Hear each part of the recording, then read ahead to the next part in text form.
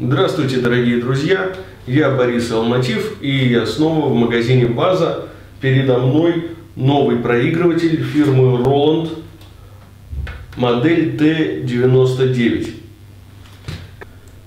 Когда я открыл этот проигрыватель, я сильно удивился, потому что увидел практически такой же вертак, который я купил в 95 году, чтобы начать свою диджейскую карьеру. Давайте посмотрим, что меня удивило и почему он мне напомнил тот старый вертак. Итак, компоновка и дизайн. Единственное, старый проигрыватель был абсолютно черный, без фирменного роландовского цвета. Ну и назывался он не Роланд, а Монокор.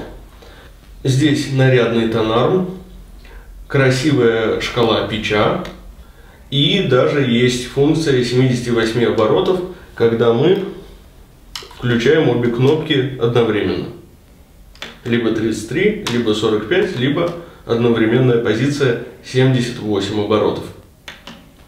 Тонарм также не регулируется по высоте, хотя у него есть лифт, антискейтинг, ну и классическая геликоидальная система тонарма, напоминающая Technics. Подсветка иглы освещает иголку на протяжении всего трека. За это большое спасибо. Здесь, обычно в, этом, в этой рамке, располагалось специальное 12-вольтовое гнездо формата XLR для подключения светильника на гусиной шее. Раньше это было очень модно в клубах, но сейчас почему-то упразднено.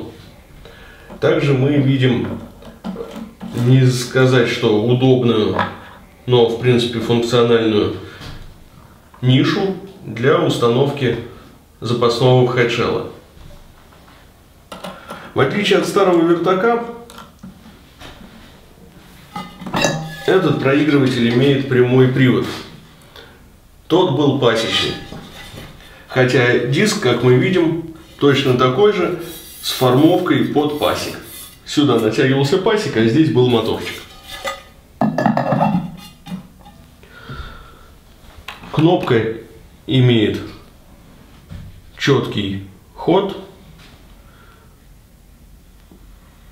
Ну и как любой ОЭМ проигрыватель имеет градуировку стробошариков и pitch плюс-минус 10.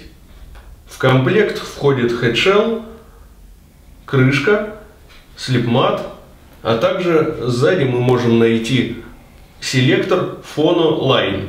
То есть на проигрывателе установлен фонокорректор, и мы можем включать его непосредственно в линейный вход.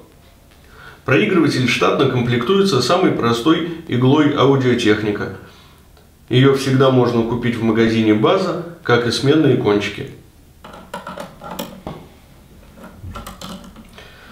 Несмотря на простоту проигрывателя, он довольно увесист. Характерный минус, который я отличаю для себя, это важные функциональные кнопки, которые находятся в рабочей зоне – и запястьем можно включить нечаянно не ту скорость. Фактически перед нами проигрыватель клон, но учитывая его фирменное оформление от Roland, он легко впишется в стойку рядом с драм-машиной, поможет вам отсемплировать пластинку или просто послушать ее.